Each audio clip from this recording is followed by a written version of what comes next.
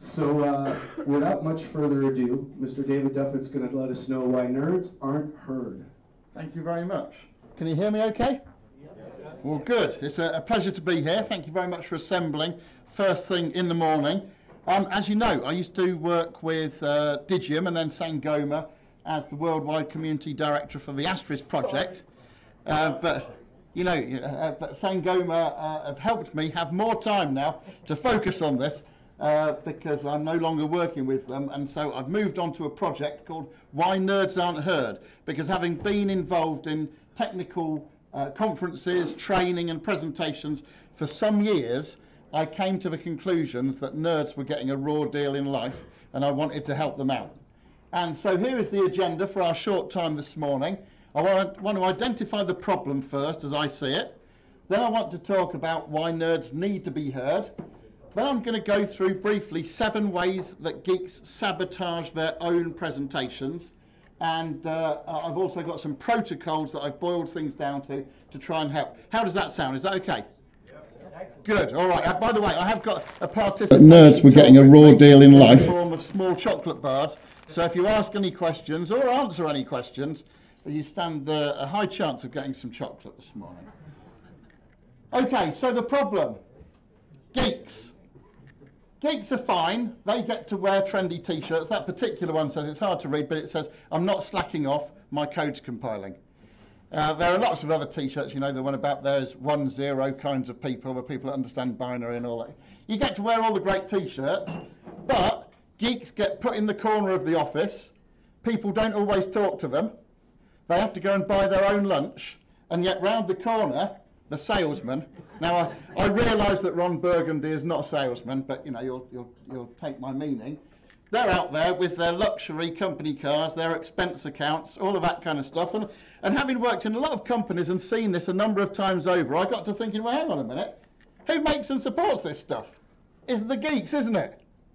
And so I came to a conclusion that geeks need to be helped because the problem is that technical people are not looked after in the same way as the salespeople or the marketing people. In other words, they're not paid the same, they're not recognised the same, and they're not rewarded the same. Now, I'm not suggesting salespeople should be paid less because I respect all of the skills that they have.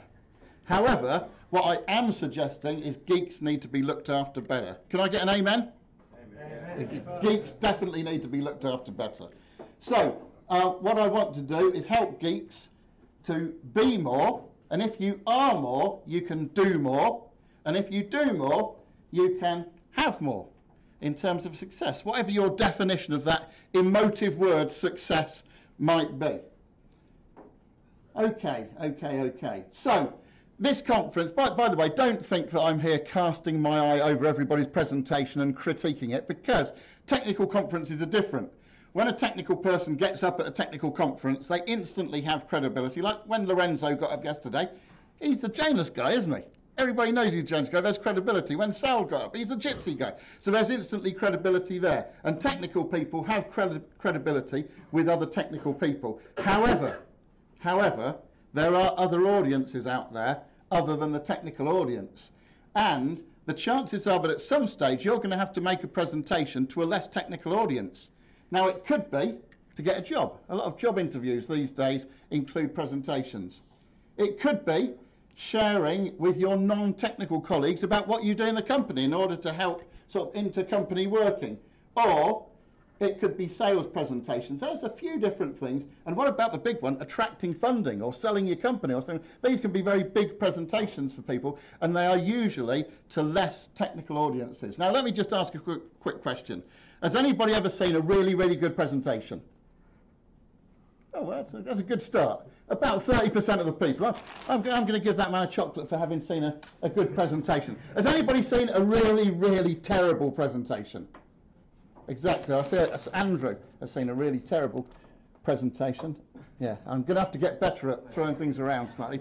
Now, the thing is, can you imagine if we asked an audience of HR professionals if they'd ever seen a good presentation or a bad presentation? They'd put their hands up as well. But when you asked them why, can you imagine the answer would be somewhat different to a, uh, a technical group like this? In other words, people have different criteria for judging presentations. Excuse me for one moment.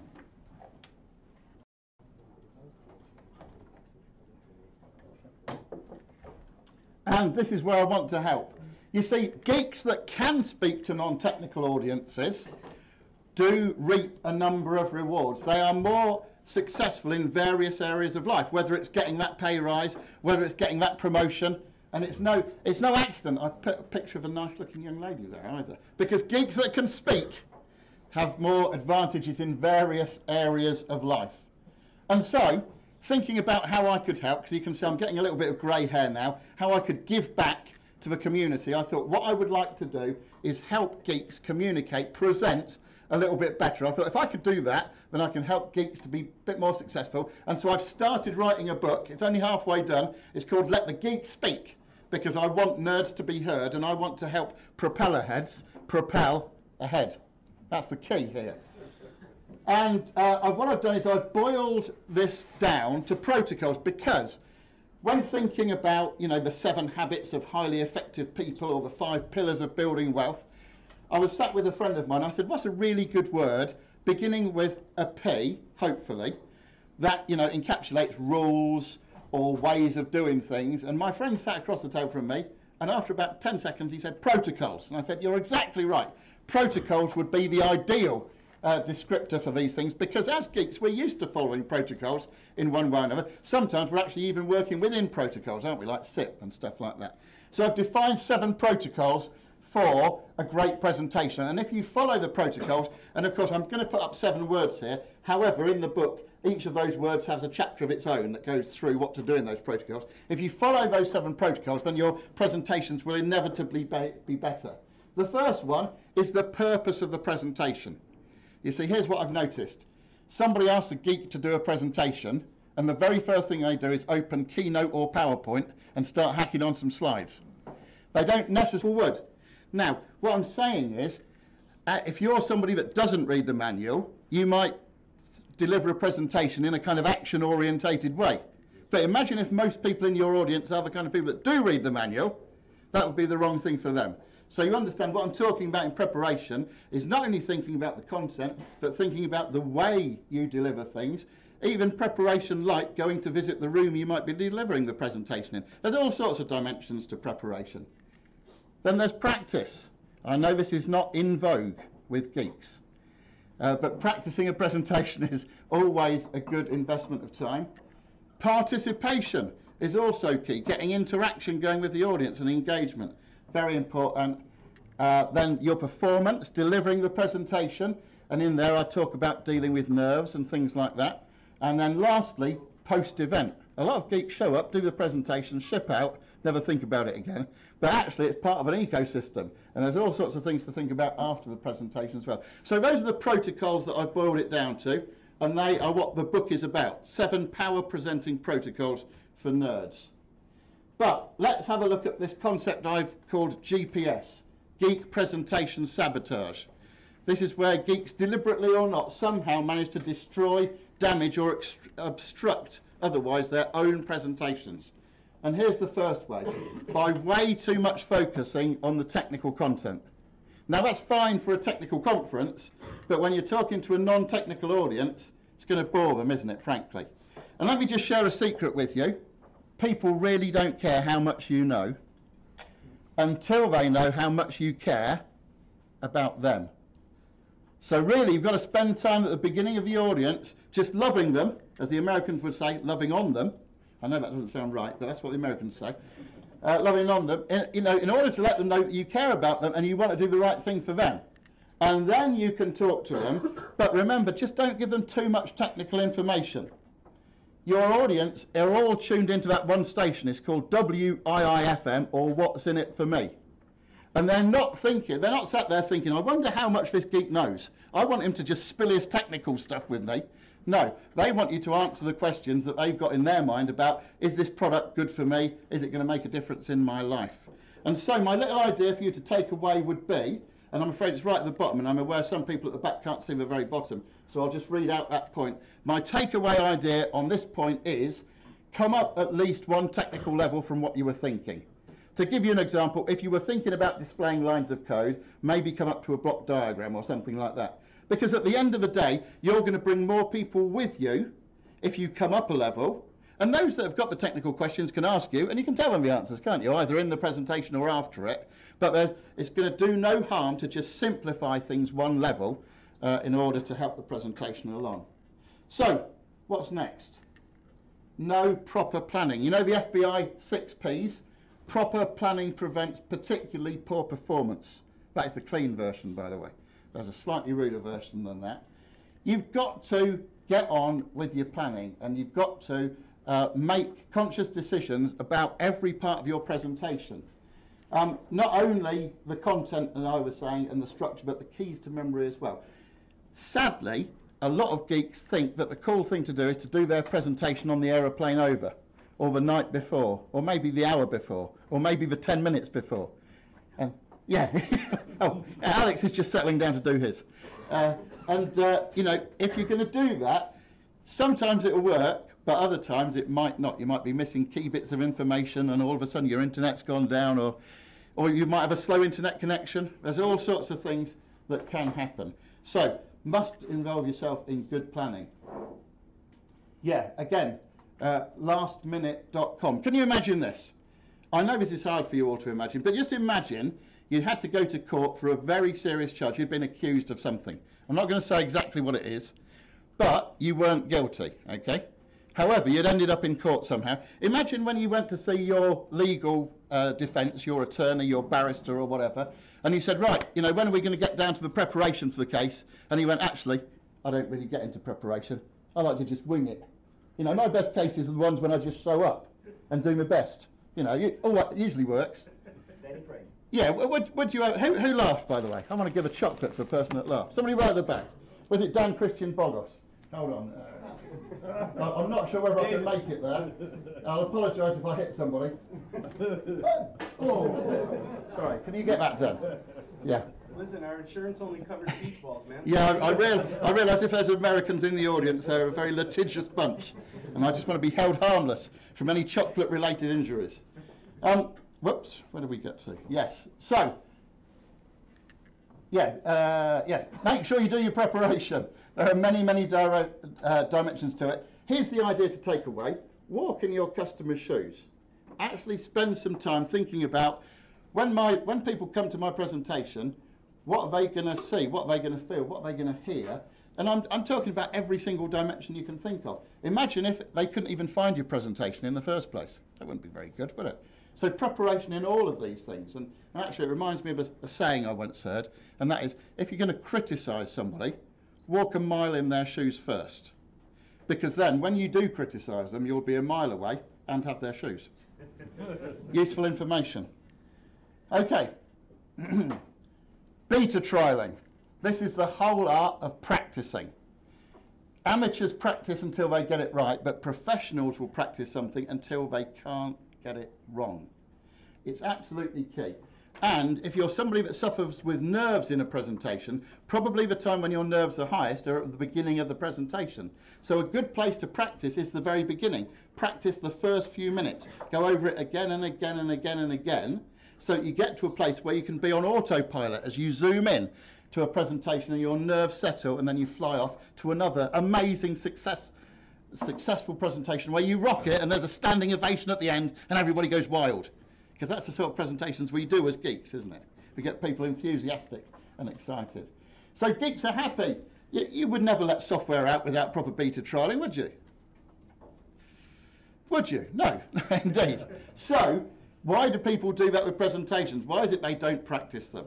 I would submit to you that you've got to practice. And when I say practice, here's what practicing is not.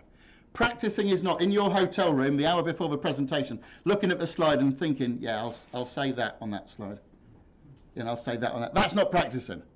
Practicing is out loud to an audience, maybe your colleagues at work if they're available. If they're not, friends or family. If not, what about practicing into your mobile phone to record it? And then you can play it back and see how you sound. The reason for this is manifold. Number one, gives you an idea of timings and how that's going to work out.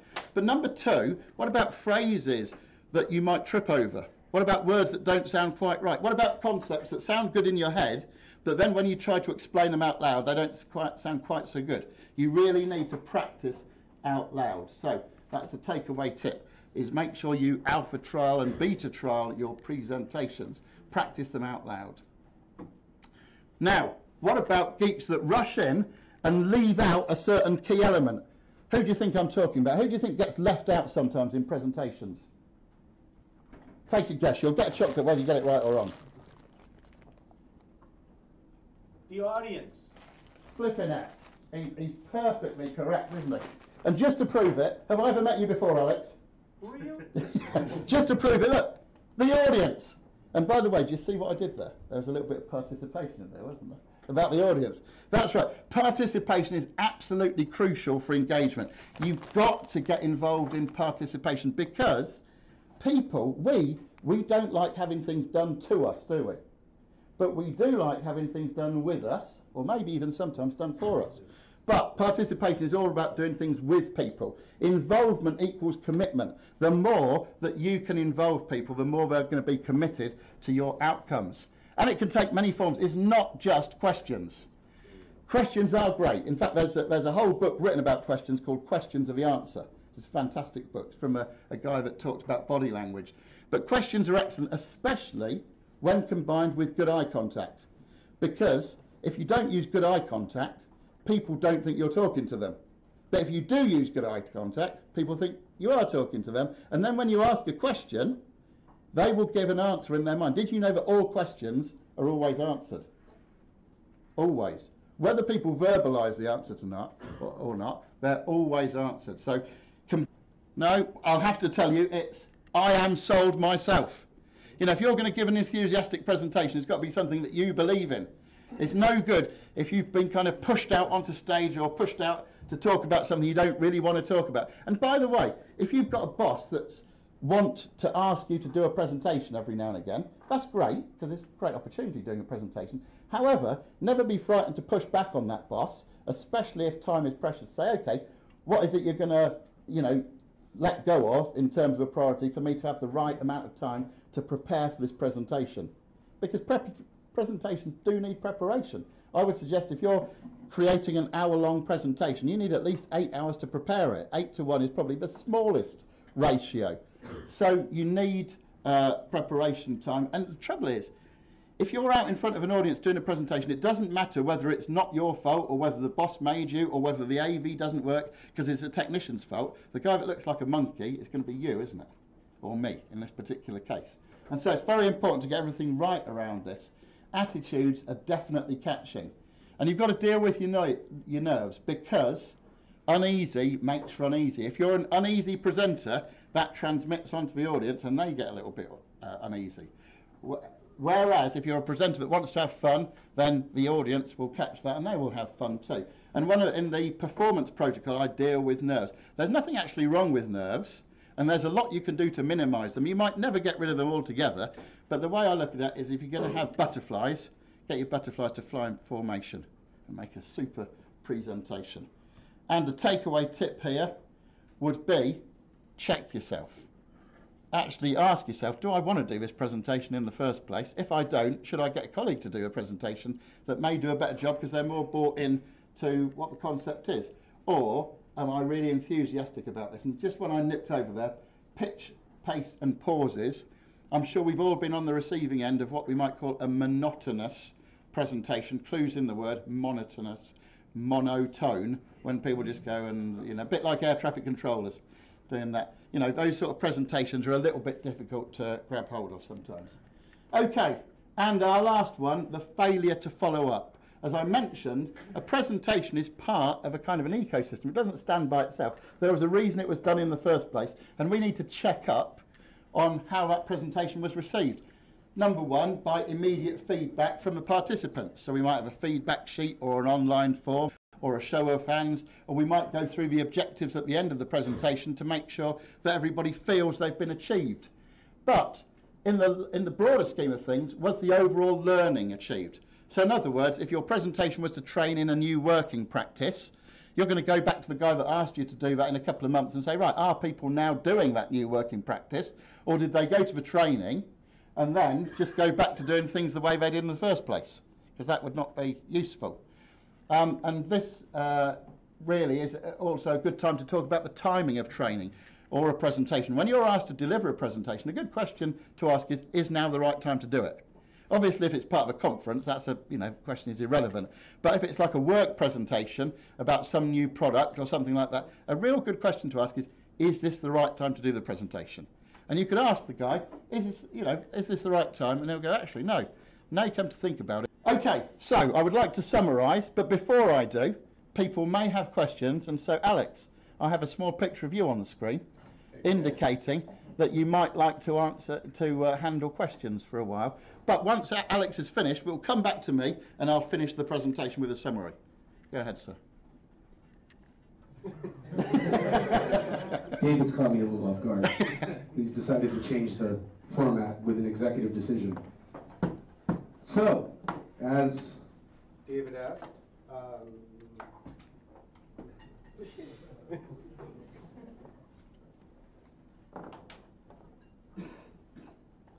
yeah. Who's got questions? We are open for questions. Okay, so Okay, the gentleman here at the go. back with the glasses there. I'm heading back. He was the first man with his hand up. You're a very inquiring person. Always. I have two questions for you. Yes, sir. Go ahead with the first one. Presentation. Let's do The first minute at a time. question. I'll have my breakfast. We can save it for later, or use it to meet ladies. First one is how many times did you practice that presentation? That's a good question. Do you want the honest answer? Yes. Twice. Is that all? Yes. I, I, would usually do more. But you've However, done all the bits I, I don't want to go into the circumstances that prevented me, but yes. But let me, let me, let me give you a better answer. I once went for a job that I really, really wanted, and I knew a presentation was part of it. I practiced that bad boy 15, 20 times. And uh, I even emailed the company and said, can you send me a room layout of the room I'm going to be presenting in for this job interview? And I just kind of went to town. Yeah, practice, yeah, is a key job. Yeah, I did get the job as well. And the second question was. In a multicultural environment, Yeah, what pointers would you like to recommend? that's a good And, one. and I'll take an example. I, I, and maybe it's an extreme. You have an audience and it's got half German and half French. Hmm. How do you deal with it? I wouldn't want to do that one. I'd have to have a word with my boss. Actually, I'll give you one. Yeah, I'll give you one quick cultural thing I came across. I was in Malaysia doing a presentation. I was throwing chocolates as I like to do. I learned that throwing chocolates overarm is actually offensive because you're throwing it at people, but throwing it underarm is very acceptable because you're throwing it to people. So that's a learning point. Having said that, I think I'd established enough rapport at the beginning that people knew that I wasn't deliberately being offensive or nasty. Um, the cultural thing, I suppose you've got to take it um, kind of as it comes, and unless you know the cultural background and the things that you do do and you don't do uh, with those audiences, for instance, just a stereotypical thing, Germans are much more likely to want to cut to the chase, aren't they, and get there. You're saying no. Okay, maybe we'll experience a different bunch of Germans. okay, but yeah, you've really got to dig in and find out a little bit. Uh, An example I've got is Japan. I love a little bit of interaction, as you know. When you're doing a presentation in Japan, don't expect any interaction. People don't like to get involved. In fact, it, apparently, it's a sign of weakness to ask a question in front of the other people in the audience. Um, I kind of sidestepped your question. I don't feel I've given you a great or great answer. Have you got an answer, sir? You asked a question. Um, Just like, like there's a microphone. There's Alex behind you, holding a microphone. Not working one. Ah, okay. Just shout then.